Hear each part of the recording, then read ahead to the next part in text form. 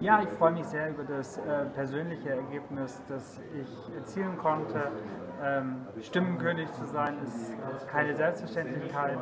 ähm, vor allem wenn sich, wie sich abzeichnet, dass der Fall ist, dass es das zweite Mal so ist, dann ist es was ganz, ganz Schönes und ich bin sehr dankbar dafür und freue mich sehr auch nach Zeiten ähm, 2006 mit der Landtagswahl, die ja auch für mich persönlich nicht ganz leicht gewesen sind, ist es schön, wenn politische Arbeit vielleicht dann doch an der einen oder anderen Stelle gesehen wird. Grundsätzlich muss man sagen, ist natürlich das Ergebnis ähm, bei der Europawahl für die SPD sehr ähm, ernüchternd und ein richtiger Schlag ins Kontor, also wirklich heftig, da gibt es nicht dran rumzudeuten. Aber man muss sagen, ich glaube, es ist gelungen im Rahmen des Möglichen, dass wir uns da wirklich mit aller Kraft und einem ganz, ganz engagierten Wahlkampf in Böbling dagegen stemmen.